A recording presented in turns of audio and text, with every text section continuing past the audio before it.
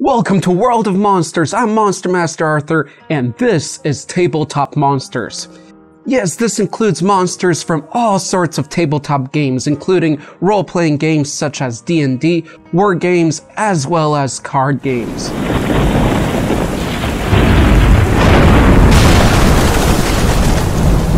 Welcome to this first episode of the series, where today we will be discussing The Fimir.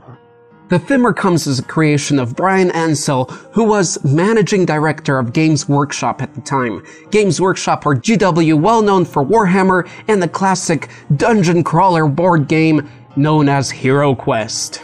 And here you have the original Fimir prototype. Isn't it a beaut? So first let's get into the Fimir physiology and abilities. Among the Fimir types, such as the Mir, also known as Witch Hags, Dirach, Fimm Nobles, Shirel, Fianna Fimm, the Warrior Elite, Demon Possessed Demonomaniacs, or whatever other undiscovered subspecies or class adaptation, there exists the classic, or better known, Fimir Warrior, or more technically, the Fimm Warrior. They hold key Fimir features such as the green to brown toned skin and cycloptic single eye. This is the Fimir we will be discussing today. So let's begin. Fimm Warrior physiology. The V-shaped muzzle lined with crocodilian-like teeth, that single eye, and that long round tail. These three key features, which make the Fimir particularly ugly from the human point of view, are indeed iconic to the entire Fimir race. Though tails may vary within the race, Fimm warriors have evolved a bony clubbed, or what may become a spiked, tip as an extra offensive limb. As common among their race, Fimm warriors have three fingers and a thumb, as well as three toes, and sometimes are depicted with simple ear holes similar to those of lizards. They are heavily muscled and lean and bear colors from green to brown and the surrounding extremes of those tones. Fimm warriors can live to about 200 years, feeding on various vegetation as well as mushrooms and animals that they hunt. And of course, they are also found plundering human food. Now let's explore their abilities. Fimmers do indeed have their own language, which they call Fimar and parts within this language have been found to be of demon dialect. Fimm warriors live to fight, and sometimes they are magically possessed to increase their strength and skill. They are brute warriors. Among its powerful body, the intimidating mace like tail is lined with hard bone ridges that serve as extra armor and power to this natural weapon.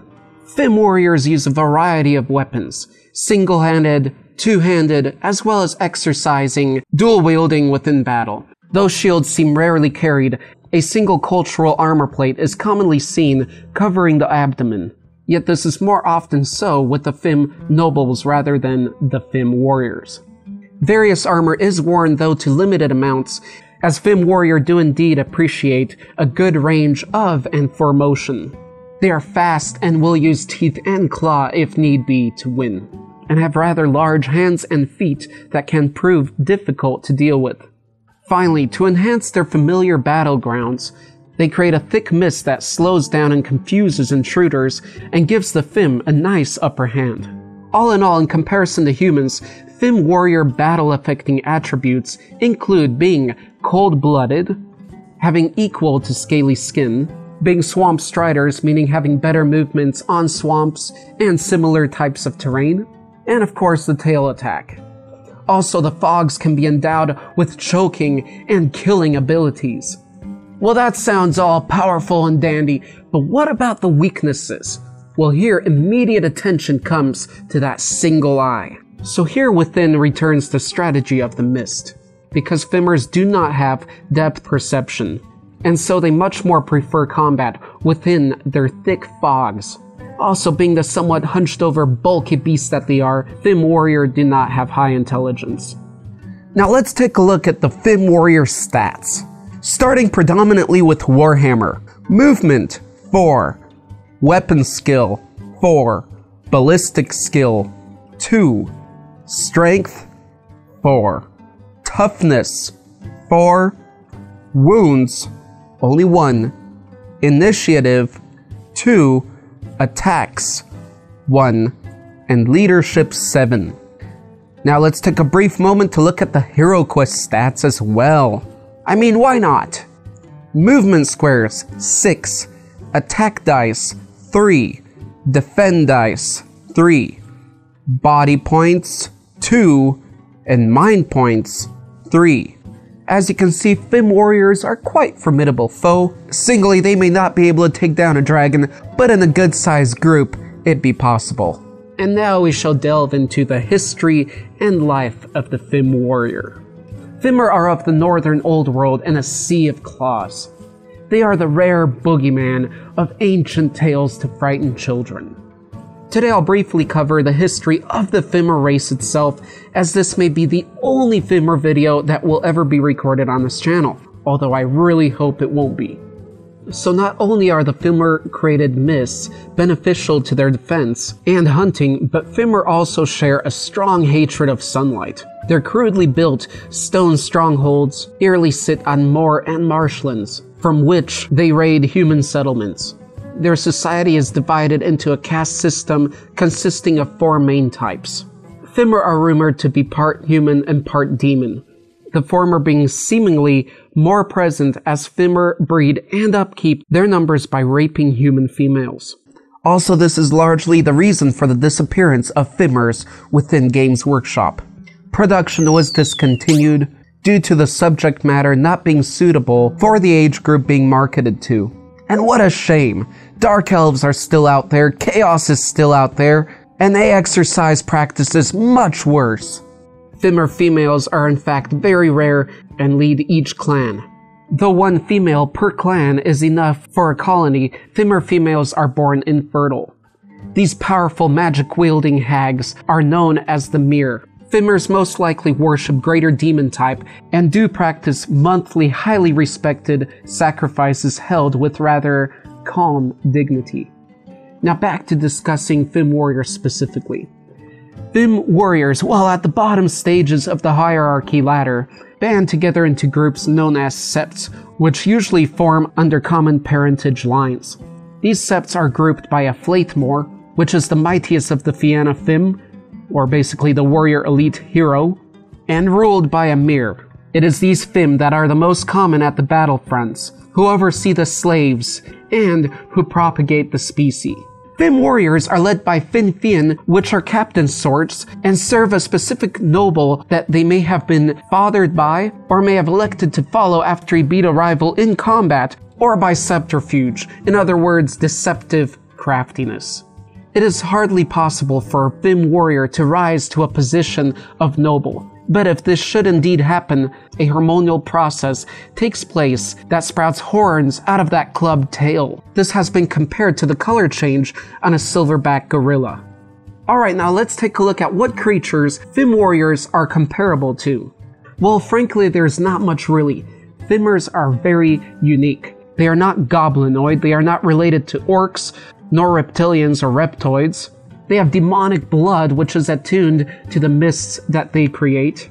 But just for generalized fun, we can compare them to orcs, demon type, certain smaller cyclops or cyclopses, lizard men, certain types of trolls, and some ogre type.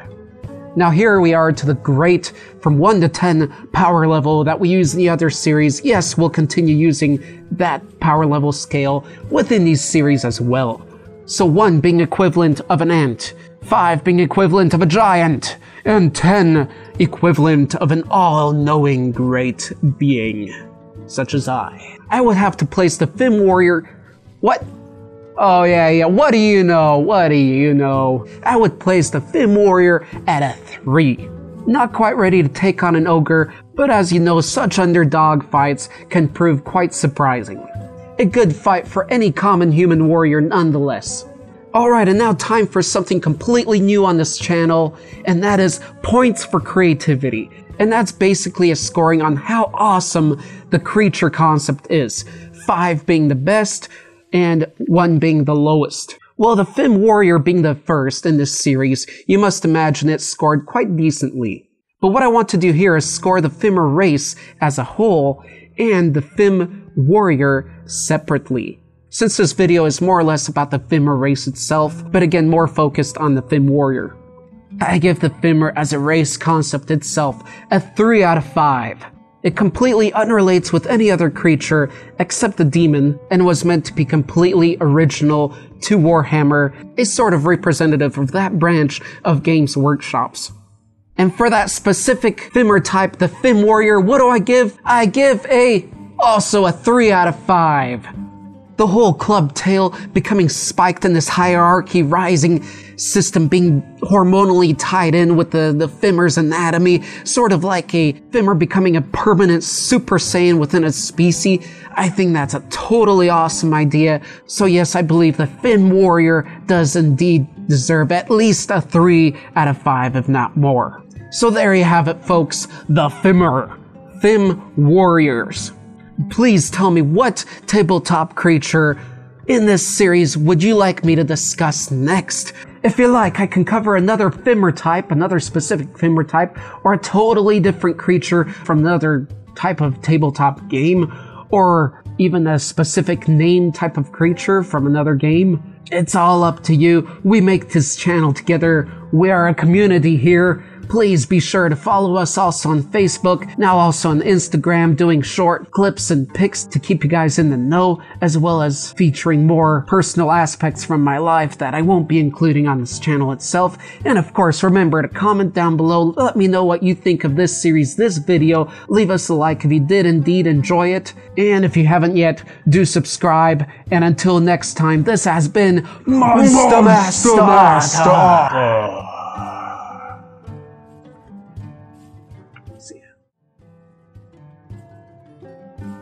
All right, cheers, everybody. Let's get around to drinks here. I am done.